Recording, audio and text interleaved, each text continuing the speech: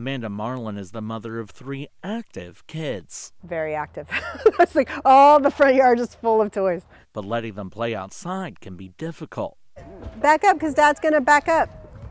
Especially on such an active street.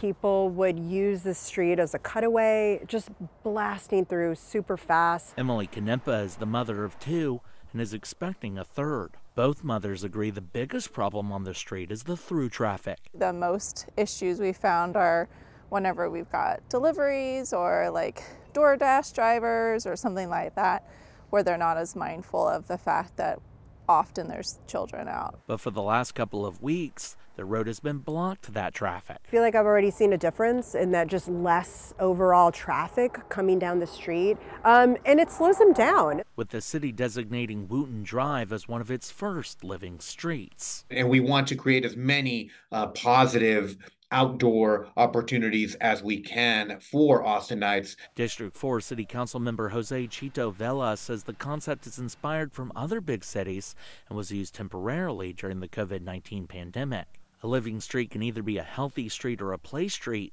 where through traffic will be blocked for specific times each day. There's also a single day designation for neighborhood block parties. It doesn't just help the folks that are on the street. You know, if you're living a block or two blocks away, you know, that's where you can go. Some neighbors who lived closer to the barricades did voice opposition, but wouldn't go on camera.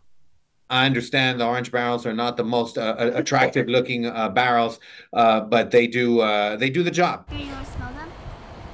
Amanda is thrilled. I feel more comfortable even telling my girls that they can walk around the block, walking the dog on their own. Letting her kids play with a bit more peace of mind. Thank you for watching. Please hit the subscribe button and get the latest news by downloading the CBS Austin News app.